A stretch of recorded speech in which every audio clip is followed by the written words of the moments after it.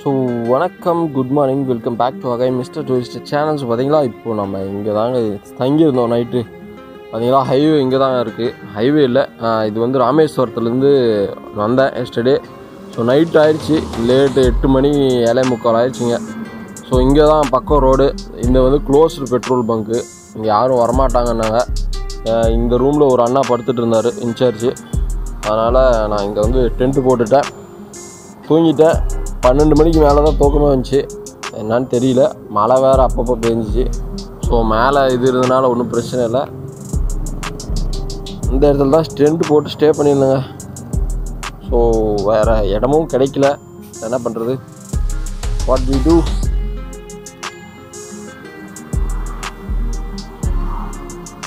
So இப்போ மணி வந்து பார்த்திங்களா ஏழு மணி ஆயிடுச்சுங்க. ஸோ நம்ம கிளம்பலாம்.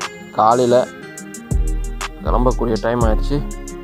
ஓகே லக்கேஜ்லாம் பேக் பண்ணிவிட்டு கிளம்பலாம்.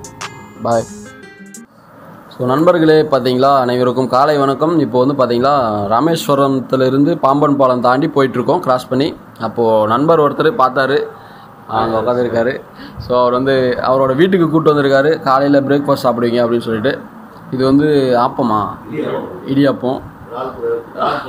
இன்றைக்கி பிரேக்ஃபாஸ்ட்டுக்கு பாருங்கள் வெயிட்டை கவனிச்சிட்டாங்க. செம்மையாக இருக்குது இது வந்துட்டு இறால் இறால் குழம்பு. பிரான்ஸ். ப்ரான். அதுதான் இறால் தமிழில். இது பருப்பு குழம்பு. சாம்பார்.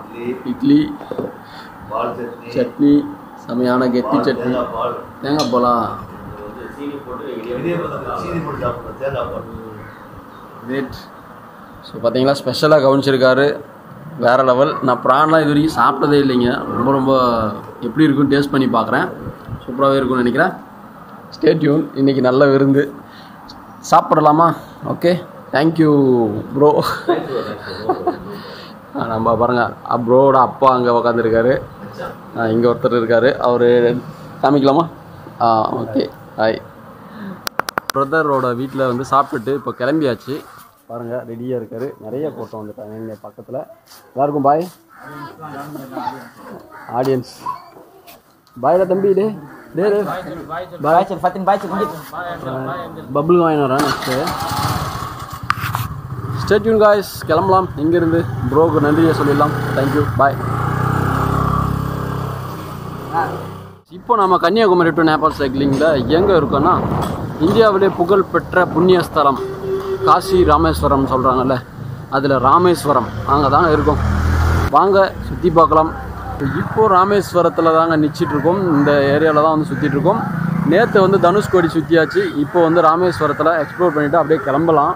டைம் ஆயிடுச்சு குளிச்சுட்டு போகிறாங்க நிறையா பேர் வராங்க. காலையிலலாம் பயங்கர கூட்டம். இப்போ வந்து evening three o'clock three thirty ஆயிடுச்சு ஏகப்பட்ட கூட்டம். நிறைய கப்பலாக நிச்சிருக்கும். நார்த் இந்தியாவிலேருந்து நிறைய பேர் வராங்க. மத்திய பிரதேஷ் மகாராஷ்டிரா யூபி அங்கேருந்துலாம் நிறைய பேர் வந்துட்டு இருக்காங்க.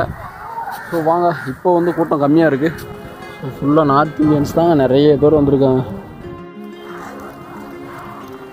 இன்றைக்கி வந்து கொஞ்சம் கூட்டம் அது கம்மியாக இருக்குது இப்போ மூணு மணி ஆயிடுச்சு ஸோ காலையில் டைம்லாம் சரியான கூட்டங்க.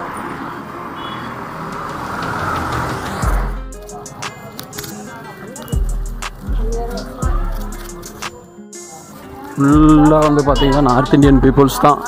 மகாராஷ்டிரா யூபி எல்லாம் யாத்ரா வந்திருக்காங்க. ஸோ இந்த கோயில் பற்றி சொல்லியே ஆகணும். ஒரு சில சிறப்பு அம்சங்கள் இருக்குது ஸோ இந்த கோயில் தாங்க. இதுக்குள்ளே போனீங்கன்னா வச்சுக்கோங்க. வர்ற எக்ஸிட் வே. ஸோ பார்த்தீங்களா உள்ளுக்குள்ளே பார்த்தீங்களா கோயிலுக்குள்ளே நான் காலையில் போயிருந்தேன். இருபத்தி ரெண்டு திவ்ய தேச தீர்த்தங்கள். அதால் குளிக்க வச்சிடுறாங்க. ஃபுல்லாக ஊற்றி நலைய வச்சிடுறாங்க. ஃபஸ்ட்டு கடலில் வந்து குளிச்சுட்டு அதுக்கப்புறம் இந்த கோயிலுக்குள்ளே போனோம்னா அந்த காலத்தில் செம்மையாக கட்டி வச்சுருக்காங்க கோயில். அப்படியே இருக்குது.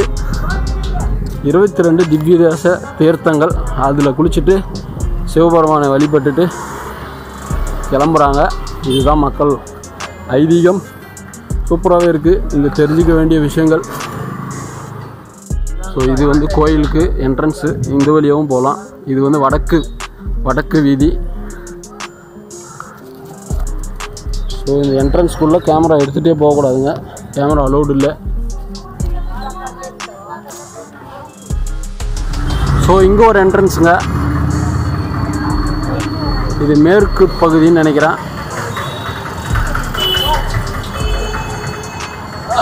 தெரியுதுங்களா?